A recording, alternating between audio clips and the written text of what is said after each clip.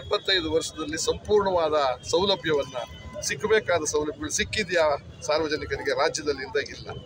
ಆದರೆ ಈಗ ಸದ್ಯಕ್ಕೆ ನಾವು ತೆಗೆದುಕೊಂಡಿರುವಂಥ ಪೃಥ್ವಿರೆಡ್ಡಿ ಅವರ ನಾಯಕತ್ವದಲ್ಲಿ ಉಪಾಧ್ಯಕ್ಷರಾದಂಥ ಭಾಸ್ಕರ್ ರಾವು ಮತ್ತು ನಮ್ಮ ವಕ್ತಾರರು ಮ್ಯಾಥ್ಯೂ ಮತ್ತು ನಮ್ಮ ಮೋಹನ್ ದಾಸದೇವರು ಇಲ್ಲೇ ಇದ್ದಾರೆ. ಇನ್ನಿತರ ಎಲ್ಲ ಪದಾಧಿಕಾರಿಗಳು ಸೇರಿ ಬೈಕ್ ರ್ಯಾಲಿಯ ಮುಖೇನ ಸಾರ್ವಜನಿಕರಲ್ಲಿ ಒಂದು ಆಮ್ ಆದ್ಮಿ ಪಾರ್ಟಿ ಇದೆ. ಕೇವಲ ಮೂರು ಪಾರ್ಟಿ ಅಲ್ಲ ಇಲ್ಲಿರೋದು.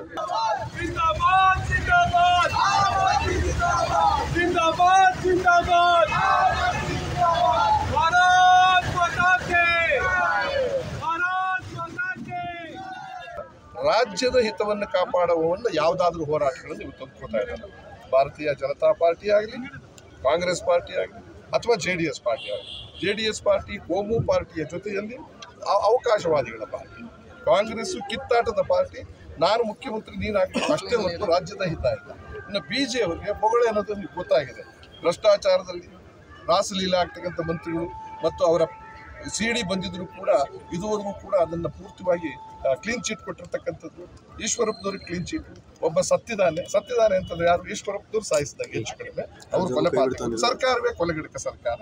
ಅದಾದ್ಮೇಲೆ ಶಿಕ್ಷಣದಲ್ಲಿ ಕ್ರಾಂತಿ ಮಾಡ್ತೀವಿ ಅಂತ ಹೇಳಿದ್ರು ಕೇಜ್ರಿವಾಲ್ ಅವರು ಮಾಡಿರೋ ಕ್ರಾಂತಿಯನ್ನು ಹೇಳೋದಕ್ಕೆ ನಾವು ಬಂದಿರೋದು. ಅದರ ಅರ್ಥ ಏನಂದ್ರೆ ಪರ್ಯಾಯ ವ್ಯವಸ್ಥೆ ಬೇಕಾಗಿದೆ. ಮಾದರಿ ಡೆಲ್ಲಿ ಮಾದರಿ ಪಂಜಾಬ್ ರೀತಿಯಲ್ಲಿ, ಹಾಗೆ ಇಲ್ಲಿ ನಮ್ಮ ಮಹಾನಗರ ಪಾಲಿಕೆ ಸಂಪೂರ್ಣವಾಗಿ ನಶಿಸುವಾಗಿರುತ್ತೆ ಅದಕ್ಕೆ ಜೀವ ಕೊಡಬೇಕಾಗಿದೆ. ಸಾಮಾನ್ಯ ಜನರ ಪಕ್ಷ ಕಡೆ ಗಮನ ಕೊಡಿ.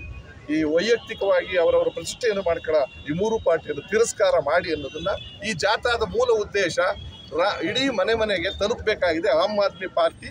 ಕೇಜ್ರಿವಾಲ್ ಅವರು ಏನು ಮಾಡಿದ್ರೆ, ದೇಶವೇ ಕಾಯ್ತಾ ಇದೆ, ಇವತ್ತು ಪ್ರಧಾನಮಂತ್ರಿಗೆ ಶೆಡ್ ಹೊಡೆದು ಯಾವುದಾದ್ರೂ ಒಬ್ಬ ವ್ಯಕ್ತಿ ಇದ್ರೆ ಅರವಿಂದ್ ಕೇಜ್ರಿವಾಲ್ ಅವರ ಆ ನಾಯಕತ್ವದಲ್ಲಿ ಪೃಥ್ವಿರೆಡ್ಡಿ ಅವರ ಮಾರ್ಗದರ್ಶನದಲ್ಲಿ ನಾವೆಲ್ಲರೂ ಇವತ್ತು ಬೈಕ್ ರ್ಯಾಲಿಯಿಂದ ಇಡೀ ಇಪ್ಪತ್ತ ಎಂಟು ಕ್ಷೇತ್ರಗಳಲ್ಲಿ ಪ್ರಚಾರ ಮಾಡಿ ಅಭಿಯಾನ ಮಾಡ್ತಾರೆ